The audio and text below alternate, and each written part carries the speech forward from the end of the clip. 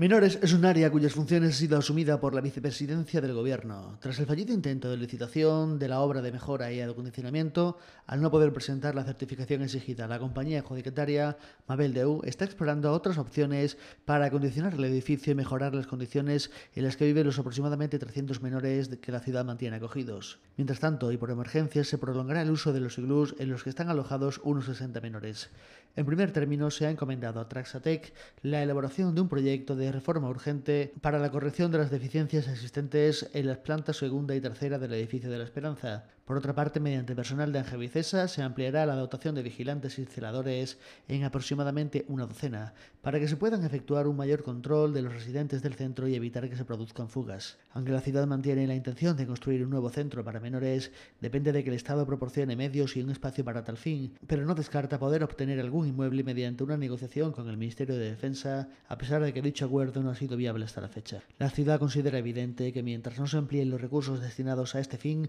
no se podrá atender en condiciones óptimas a las necesidades de los menores acogidos, ya que su elevado número sobrepasa las capacidades de Ceuta.